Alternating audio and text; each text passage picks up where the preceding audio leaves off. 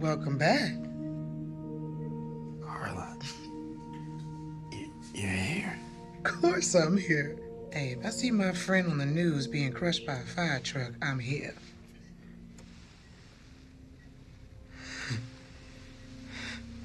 Okay, okay, hmm. okay, Buckaroo. All right, all right. It's gonna be okay.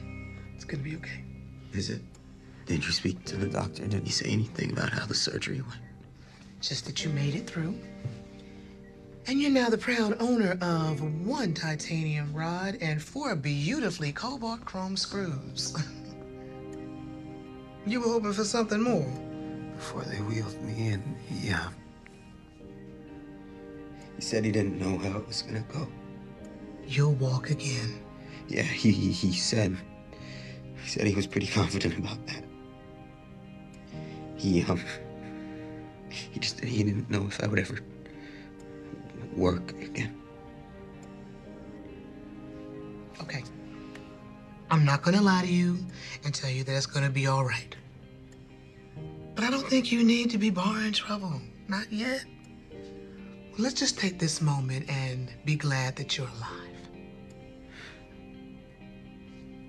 Ali seems nice. You met Ali? Hmm. So we're in the brunettes now.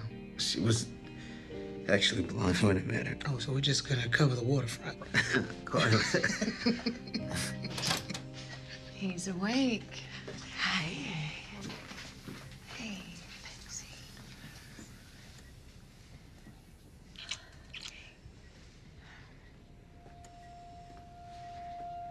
You were in surgery for a while.